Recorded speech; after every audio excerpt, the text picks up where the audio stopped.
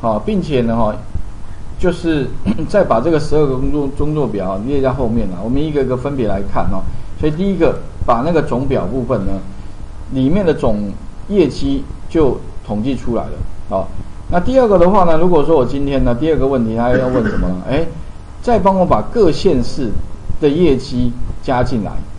那我们可以把那个各县市哦，把那个要统计的，你可以放在栏或放在列栏哈。不过好像放在列会比较简单，会比较明明了一点。所以呢，我接下来我们可以再来把那个零一哈变成零二，就第二个问题。不过呢，特别注意哦，零一变零二的话，你可以复制一下，干脆直接把零一复制。然后改成零二啊，复制的话最简单的方法就是把这个零一哈拖拉之后呢，按 Ctrl 键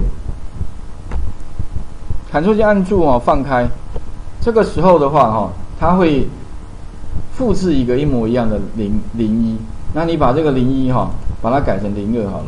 好，那我们用这个来改会比较快了。不然的话，你如果要重新再插入一个新的数据，感觉好像动作会比较多，直接复制好像比较快。那接下来的话，我们只需要什么县市？哎，所以这边的话，统计啊各县。那所以这边的话，有没有县市名称？用。那你就把县市名称呢，一般习惯是拖拉到列标签，放开。这个时候呢，自动就帮你把那个列标签自动就显示出来了。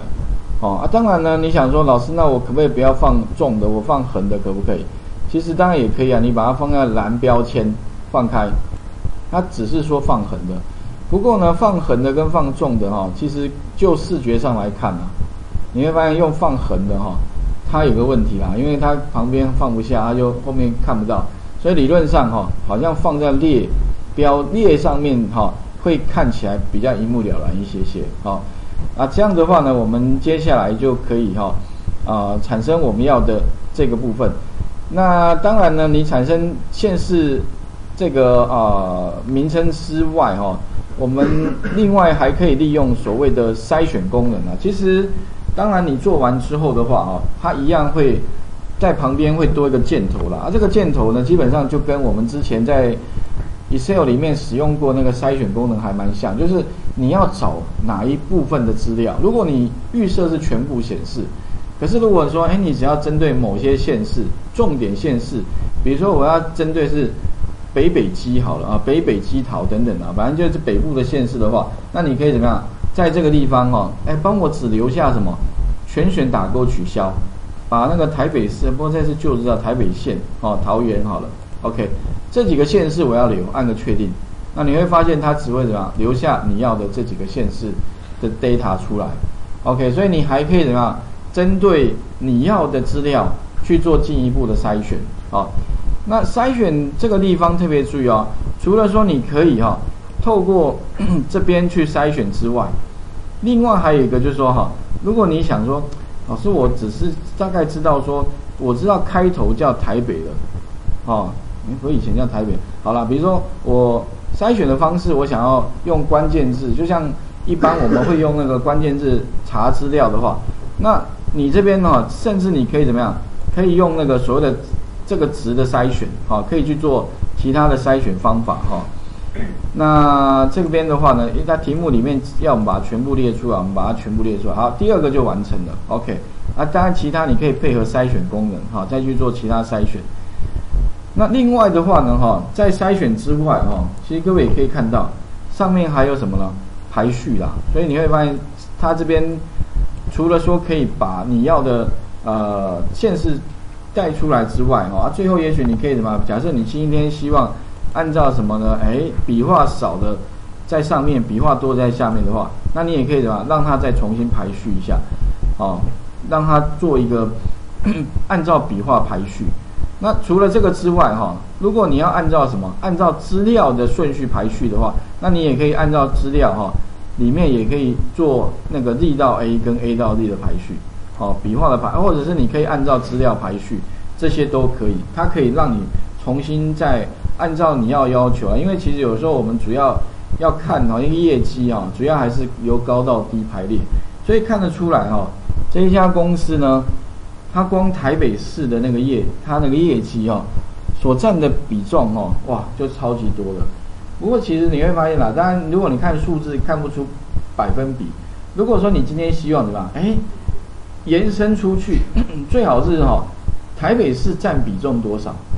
所以台北市占比重多少？但是如果说你今天又不希望说把它原来的金额移掉的话，你可以再做一件事，就是你可以怎么在旁边呢？再把销售金额拖拉下来。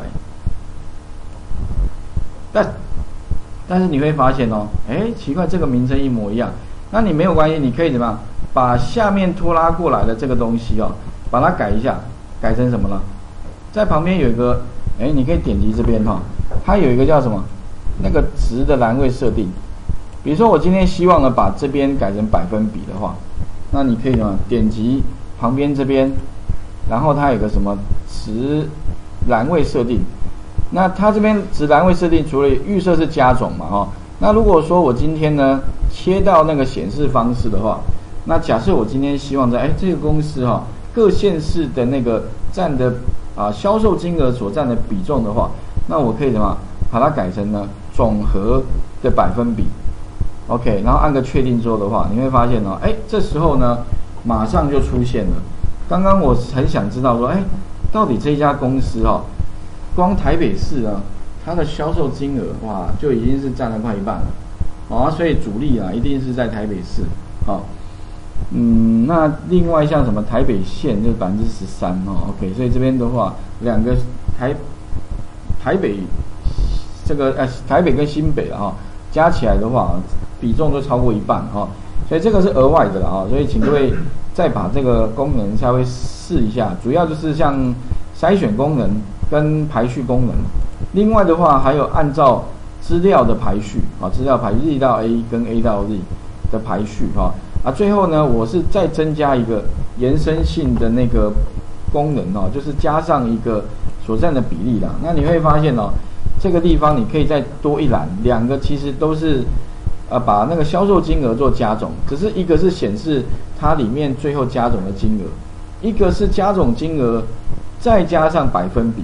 好，所以特别重要，我这边只是说把这个呢里面的那个值栏位设定哦改成计算。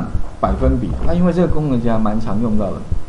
OK，那当然底下还有什么栏呃百分比之外哈，它什么针对栏做百分比，横呃做栏横向的纵向百分比啊等等的。当然，不过这个这相关功能的话，后面有有有带到的，我们再来看哦，按确定。好，那再来的话，这个第二个问题就是把那个 那个呃我们的各县市哈这个业绩总额把它显示出来啊，除了显示。它的金额之外，我们多一个百分比哈。